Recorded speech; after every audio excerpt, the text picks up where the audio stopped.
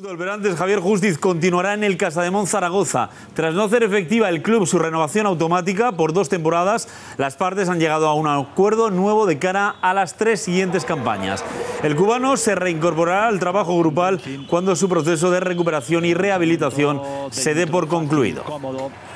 Canasta para el doble cero para Javier Justiz. Este mediodía hemos hablado con el entrenador del Casademón Zaragoza, Diego Campo. El gallego ha confirmado que la plantilla del conjunto aragonés no está todavía cerrada. Tras la llegada de Thompson, el Casa de Monzaragoza sigue en el mercado para incorporar un 4. Ocampo ha sido muy claro con lo que están buscando.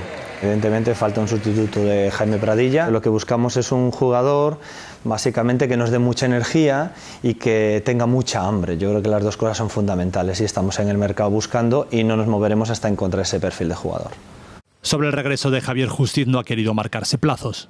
Es difícil de saber porque es una lesión complicada de rodilla eh, y entonces es muy complicado. Se están haciendo todos los esfuerzos posibles por recuperarlo. Creo que lo primero es la salud y recuperarlo bien y aunque la Final 8 es muy importante para nosotros, eh, tiene que estar al 100%. Entonces yo creo que en esta recuperación es importante valorar el día a día y cómo va, cómo se encuentra, pero bueno, estoy convencido de que va a dar su máximo porque lo veo cada día motivado en recuperarse y tiene muchísimas ganas de jugar.